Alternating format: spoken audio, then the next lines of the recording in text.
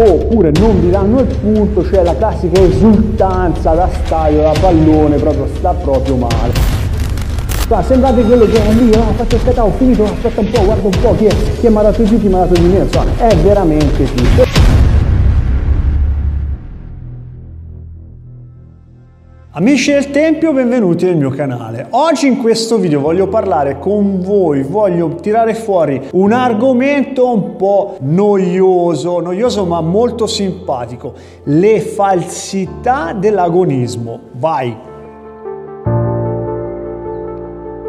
Sì ragazzi, le falsità dell'agonismo, le falsità, le cose strane, le cose veramente secondo mio avviso tristi che si vedono in gara. Qualsiasi gara, federazione antipromozione, qualsiasi club, eh, organizzazioni che, in cui si fanno gare, c'è sempre questa risvolta triste che si ritrova sempre nell'agonismo. Non c'entra la gara kata o kumite, ma queste cose strane si trovano quasi sempre. Allora andiamole un po' a vedere. Io ne ho stimate all'incirca una decina con un bonus finale. Allora, in pole position partirei con la gara dello sputacchino. Voi direte, ma Massimo, sei impazzito oggi? No, non sono impazzito. Allora, avete presente il chimè? Ragazzi, il chimè lo conosciamo tutti, sappiamo tutti cos'è. Ah, tra l'altro ho fatto anche un video sul chimè. Avete presente la medaglia d'oro alle Olimpiadi di Ryuki Una? Tra l'altro ho fatto un video anche di questo, guardatelo se non avete visto male. Ragazzi, il chimè,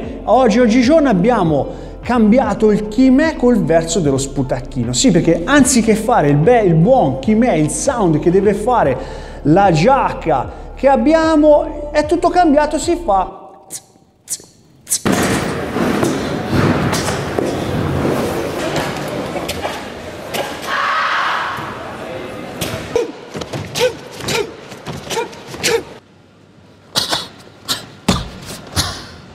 E io l'ho chiamato la gara dello sputachino, cioè chi sputa secondo me più lontano vince. Quindi si trova questi ragazzi, eh, ragazzi, insomma, anche gente attempata che in gara anziché fare il classico suono che fa il karategi,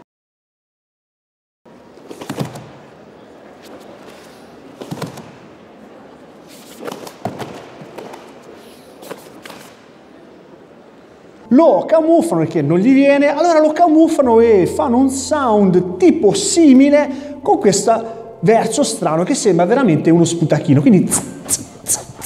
si sente tutta sta gara qui con questi bimbetti, sti ragazzi e non si capisce veramente che roba è. E tra l'altro la cosa triste è che i giudici magari valutano, cioè interessante questa cosa qua, vedete questo sputa più lontano, questo fa il verso più forte, gli diamo magari un mezzo punto in più. Per non parlare poi del verso del cane arrabbiato, dici ma come il cane arrabbiato? Sì, il cane arrabbiato. tutti sti gesti, sti suoni strani che a mio avviso, poi scrivetemi nei commenti se sono andato un po' fuori di testa, ma dovrebbero essere fatti con la contrazione dell'addome dove c'è il chiaio, dove ci sono delle tecniche forti, allora chiaramente fatte bene dall'interno, con, con, tutto il discorso giusto che bisogna fare, col fruscio del karate e nient'altro. Cioè tutti questi versi che vengono così fuori, inventati, boh, come fosse un film, a mio avviso sono proprio tristi. Per non parlare poi del classico colpo in terra, nelle, ultime gare a cui ho portato i miei ragazzi ho notato una nuova moda, una moda che um, forse io sono un po' più su con gli anni, ai miei tempi non c'era tanto, c'era lo sputacchino già ai miei tempi, ma questo qui proprio non c'era, cioè il battito continuo del piede in terra, cioè ogni tecnica che si fa specialmente se siete in un torneo dove c'è il tatami sul parquet, fate un figurone, un continuo boom, boom, boom, boom.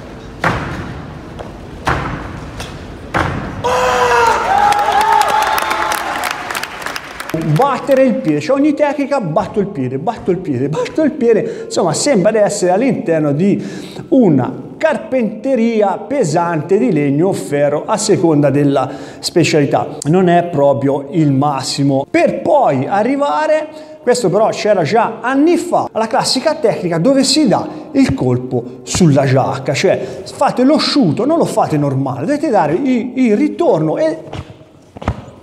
vi date il colpo, fate Jakutsuki e vi sentite?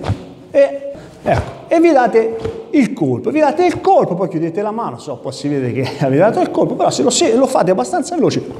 senti qua, dici wow, wow, cavolo, che che chitè, che potenza, che forza, no, quello è un rimbambito che si dà i colpi su tutto il corpo e fa comunque un figurone. Questa è un'altra tristezza del comité. Non puoi guardare poi dopo ragazzi alla fine della prova, per esempio, di kata, mentre avete fatto, finito il vostro kata, fate il saluto, siete ioi, aspettate gli arbitri, la giuria che tirano fuori i cartelli, io questo è un consiglio che do, poi chiaramente ognuno fa come vuole, ci mancherebbe altro. Il ragazzo, l'atleta che è di turno lì sul tatami, si inizia a guardare intorno, a destra e a sinistra, pensando, dice, oh, allora questo è un 7-8, questo, ah, questo è più simpatico, quello dato di più, quello dato di meno, e insomma sta male. A mio avviso quando uno finisce la gara di kata, io sto parlando di kata, dovrebbe stare fermo, aspettare quello che ti danno, quello che ti danno, e basta, e fare il saluto e uscire fuori, e semmai dopo commentare con il coach ma in maniera sobria come è andata come non è andata perché poi alla fine se avete fatto bene o avete fatto male lo dovete sapere voi cioè lo deve sapere se lo deve sentire quello che ha fatto il Qatar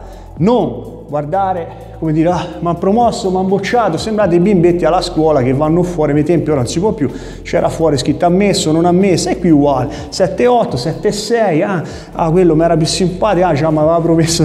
mezzo voto di più, vabbè lasciamo stare. E quindi, insomma, sembrate quello che è lì, oh, ho fatto il catà, ho finito, aspetta un po', guarda un po' chi, è, chi mi ha dato di più, chi mi ha dato di meno, insomma, è veramente triste. E poi veramente maleducato, questo però mi darete tutti ragione, uscire senza andare indietro ma girando la schiena alla giuria, tanto i voti me l'hanno dato, primo sono arrivato ultimo sono arrivato, chi se ne frega, girate la schiena, uscite dal tatami e io anche ultime gare che ho visto ultimamente, gente che fa proprio così, mentre esce fa sta cosa qua, cioè è veramente scorretto e brutto e non educato dal punto di vista proprio del karate, della morale del karate. Quindi evitate, secondo me, questo però dovete darmene atto, brutti gesti, commenti, eh, brutte parole all'arbitro, eh, ma quello era così, quello era cosa, è brutto in gara o come è brutto per esempio i coach che vanno dietro mentre i ragazzi a fare la gara di kata, andare dietro all'arbitro, magari all'arbitro centrale e poi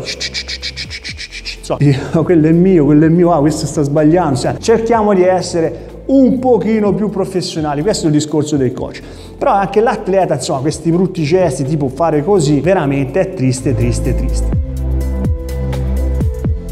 Ok ragazzi, per esempio, Andiamo sul discorso del comité. Il discorso del comité lo sappiamo tutti, eh, non voglio approfondire il discorso tecnico del comité perché non è il video adatto, però per esempio quando vi danno il punto oppure non vi danno il punto, cioè la classica esultanza da stadio, da pallone, proprio sta proprio male. Cioè, a mio avviso, se avete vinto dovete essere sobri, contenti nel vostro interno o passibili. O se avete perso, non vi hanno dato il punto, avete perso proprio il match, ma niente, senza fare smorfie, uscite senza tanti discorsi. Cioè è inutile esultare sia nel bene che nel male, cioè bisogna essere sempre sobri e sempre pensando che stiamo facendo un'arte marziale, quindi bisogna essere marziali fino in fondo, sobri e distinti, quindi in caso di vittoria o in caso di perdita dell'incontro non c'è problemi, voglio dire, neanche vi vanno ammazzato, avete, vi siete rovinati finanziariamente, vi dovete sparare, quindi non è successo nulla, se, se avete vinto bene, se avete perso bene, cioè non cambia niente, quindi non queste cose da stadio, gente visto vince le gare e può fare il classico scivolone da attaccante del pallone in ginocchioni, così l'arbitro coach anche lui a bordo tatami che iniziano a saltare, a fare brigazzo, sta male, secondo me non è rispettoso neanche se avete vinto rispetto al vostro amico che era di là, che era il vostro competitor. Questo è una brutta, secondo me, un brutto comportamento da non tenere durante le fasi di gara. Un altro aspetto ragazzi importante secondo me, un altro consiglio, poi chiaramente fate come volete, portare i bambini, si parla di bambini 5, 6, massimo 7 anni, cinture gialle che magari portano Gion, portano in picata alti che di solito si fa una cintura nera. Secondo me non è la strada giusta da affrontare. Si vedono purtroppo anche queste cose qua. Parlando con amici tecnici organizzatori di gara, ora hanno messo dei tetti, alcuni, alcune federazioni, alcuni enti hanno messo dei tetti, cioè sei tot il colore di cintura e tot kata e questi kata devi portare, perché sennò è diventato un mescolone allucinante, sono questi bambini 5-6 anni che poverini, bimbi amorosi, non sanno neanche dove sono, si mettono lì, fanno sto giro, non sanno neanche di cosa stiamo parlando però il maestro di turno, avido di gara e di medaglie, rovina e porta avanti certi tipi di discorsi pur di portare a casa la medaglietta della parrocchia, quindi sta male e secondo me non si dà neanche un giusto input tecnico al bambino di 5-6 anni che fa un gionk, immaginate voi come lo possa fare, magari cintura gialla, fa dei movimenti avanti e indietro, non sa neanche dov'è, ma si è svegliato mezz'ora prima, c'è ancora il caffè e latte in bocca. E insomma non è, non è il massimo. Non parliamo poi del discorso del palloncino. Allora, non voglio denigrare il circuito del palloncino perché secondo me da un lato è divertente, simpatico, è un buon eh, attrattiva per i bambini avvicinarli al discorso delle gare perché capisco che magari non tutti i bimbi capiscono e imparano i kata nei tempi stabiliti, quindi vogliono fare la garetta lo stesso, il genitore è felice di portare i bimbi alle gare, i kata però magari non li sanno fare, non gli piace, eccetera, eccetera, gli, sa, gli si fa fare questo palloncino. È un discorso, un circuito copiato un po' dal judo, però eh, se io vi devo dire proprio la sincerità ragazzi, sembra un po' un agility dog, non me ne abbiate a male, ma a me principalmente proprio non piace, anche perché si parla sempre di fare questo percorso facendo dei controlli controlli, quindi mi sembra viene premiato. Non mi interessa neanche bene del regolamento perché proprio io non, non, non li faccio, non porto i ragazzi a questi tipi di gare, anche se mi piace, voglio dire, non voglio commentare troppo negativamente, ma si cerca sempre di fare questo controllo sul palloncino, che al contrario di quello che io pratico in palestra, che ragazzi, ovviamente io già ai ragazzotti li faccio fare il machiwara, quindi voglio vedere al Machiuara un po' di impegno e un po' di tecnica fondata, quindi è un po' un controsenso, però capisco che sinceramente è un buon percorso, è un buon lavoro per far divertire e far capire ai ragazzi e farli entrare nel mondo dell'agonismo, però mi assomiglia tanto un po' di, dell'agility dog, e anche lì genitori, applausi eccetera eccetera, poi un consiglio posso dare un po' anche a chi viene a vedere le gare di karate, ragazzi, alle ultime gare si è visto anche la tromba, quella proprio da stadio, insomma.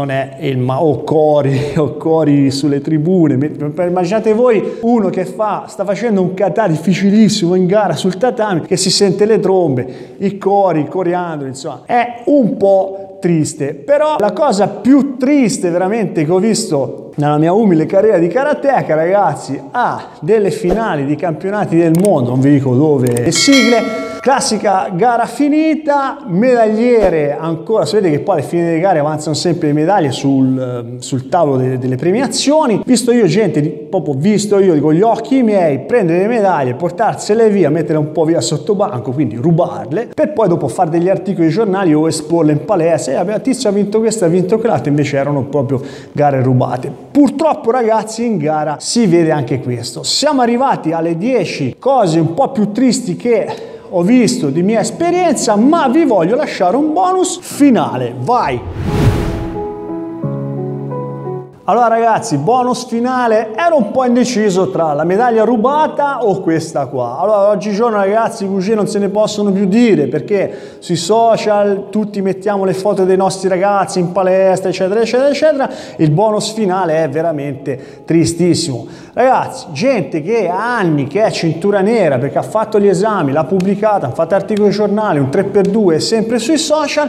come mai, come mai, come mai alle gare vanno sempre con la cintura blu? E vincono, e vincono perché chiaramente sono cinture nere, magari fanno un buon, che ne so, Yangodan eh, di Shotokan, vanno, vanno in gara sempre con la categoria verde e blu e chiaramente per anni e per anni e per anni a nastro vincono. Oh, mal che vada si piazzano sempre fra i primi tre 4 sul podio, però in effett- effettivo sono cinture nere perché si vede, hanno pubblicato, hanno fatto gli esami, quindi secondo me è un po' triste, cioè uno deve andare con la propria cintura, fare la gara con la propria cintura, come va va, non è un problema, però ragazzi, da nera, passare blu per vincere la gara della parrocchia dietro casa, ragazzi, è veramente triste triste. Arriviamo alle conclusioni. Amici del Tempio siamo arrivati alla fine di questo video, lasciate i commenti, iscrivetevi al canale e se non avete visto gli ultimi miei video sul karate spacca anche sui peggiori maestri del karate italiano che sono dei video simpatici, ho voluto fare questo video un po' che ho voluto un po' attaccare il mondo dell'agonismo. Non sono un fan dell'agonismo, lo faccio, l'ho fatto, porto i ragazzi in gara anch'io, come tutti voi, se insegnate, ma non sono proprio un fan, perché di solito si vedono sempre queste cose brutte che vanno un po' in contrasto con la mia filosofia del karate. Comunque ragazzi, lasciate i commenti, iscrivetevi al canale e ciao dal Tempio Massimo!